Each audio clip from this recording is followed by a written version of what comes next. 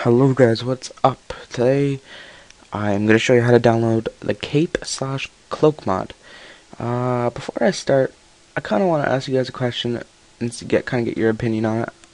Um, who do you think would win in a fight, Darth Maul or Wolverine? It's uh, something I saw on IGN the other day. I I swear I think Darth Maul could beat Wolverine, but, people seem to think that Wolverine could take Darth Maul. I just wanted to get your guys' opinion on that didn't see what you guys had to say. virus database has been updated. That's very nice, Vast. Okay, but yeah, let's get into it, guys.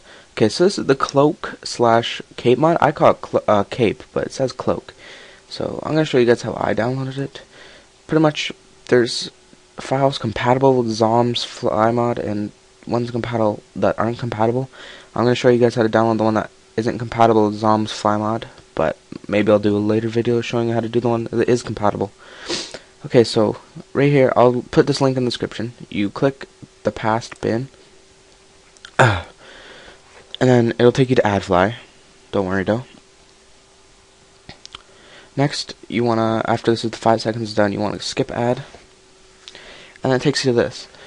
Pretty much, it tell you can either get a Mojang cloak, a Mudkip cloak, a Creeper cloak, a Flarg custom cloak, Harry Potter themed, and a Naru Muckies custom cloak.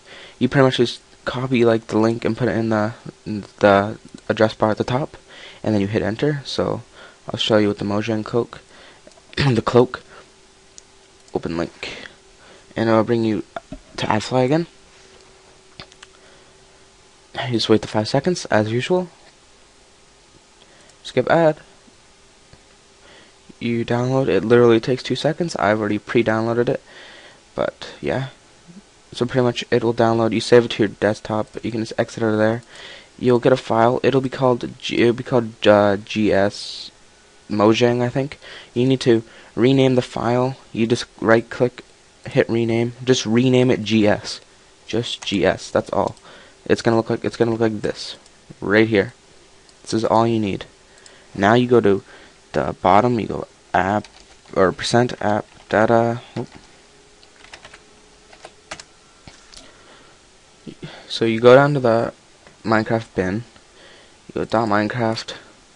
This mod is super easy to install, guys. It is a little bit glitchy sometimes when logging in, but that it's okay. You go to the bin.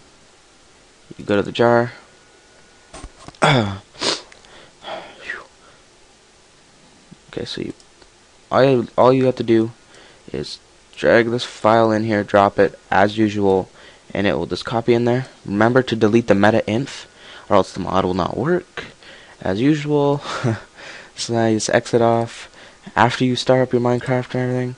See, I'm running 1.7.3. I'll just go to my single single player, and you're gonna see this pretty sweet cape on me. Ooh, see, watch.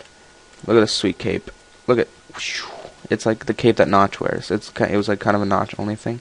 And you may be noticing I'm wearing a deadmau5 suit. I wonder what that could mean. Stay tuned for another video from me later and if you guys uh, if you guys enjoyed this video please leave it a like and feel free to subscribe if you want to see more. Remember to leave in the comment below who you think would win a fight Wolverine or Darth Maul. Thanks guys. I'm out